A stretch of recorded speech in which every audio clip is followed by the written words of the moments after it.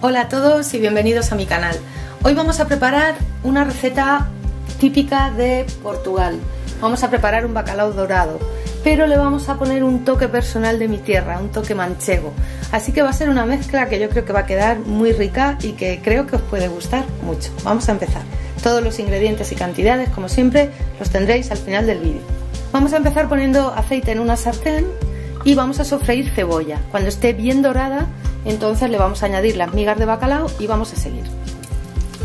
Y una cosa muy buena de esta receta es que no va a llevar sal, ningún tipo de sal añadida, ya que el bacalao ya lleva su parte, que tengo aquí las migas eh, en agua, lo, podéis ver, y con la sal que deja el bacalao vamos a tener suficiente para toda la receta.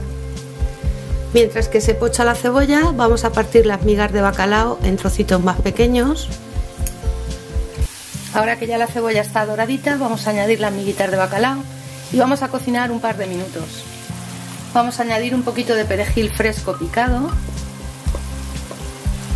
Mezclamos y reservamos en un bol. Ahora en la misma sartén con un poquito más de aceite vamos a freír las patatas al montón. Tenéis la manera de hacerlo ya disponible en el canal. Y mientras se hacen las patatas vamos a quitarles el hueso a unas poquitas aceitunas negras y les vamos a partir su carne en trocitos. Ya tenemos las patatas al montón en su punto. Ahora vamos a añadir dos dientes de ajo enteros y le vamos a dejar que se hagan un poquito, pues un dos o tres minutos más. Añadimos ahora el bacalao con la cebolla y removemos bien.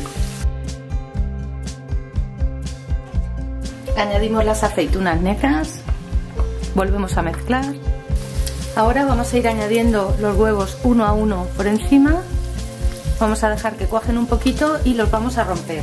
Ya fuera del fuego, rompemos las yemas, mezclamos un poquito y a servir.